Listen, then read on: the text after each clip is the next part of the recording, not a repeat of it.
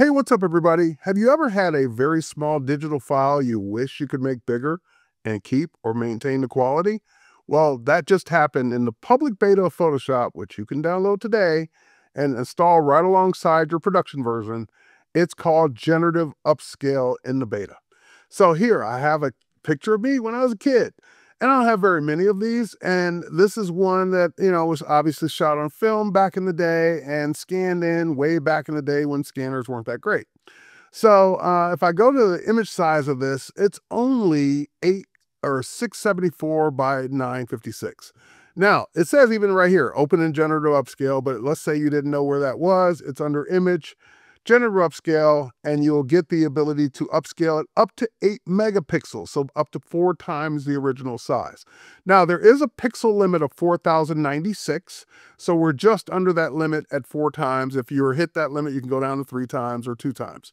Now, the other thing that might throw you is there's low, medium, and high, and the first time I did this, I just immediately clicked high. Yeah, I want the highest quality. This is not for quality. This is for creativity. I'll explain that in a few seconds, but I'm gonna keep it on low I'm going to go ahead and hit upscale and we'll let that cook for a second. And there it is. So first thing, it created a brand new document with your upscale, your four times upscale. So your original document still intact, unchanged. You can now save the new one as a new document. It looks uh, not only bigger, let's go check the size, image size. And sure enough, it's the four times bigger size. So it's a 59 megabyte image. That's great.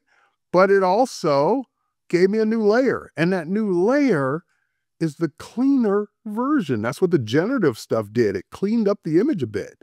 I kind of like me a little cleaner. All right, so with that said, uh, Generative Upscale is in the public beta today. You can download it and try it out, install the public beta from the Creative Cloud app alongside your release version of Photoshop.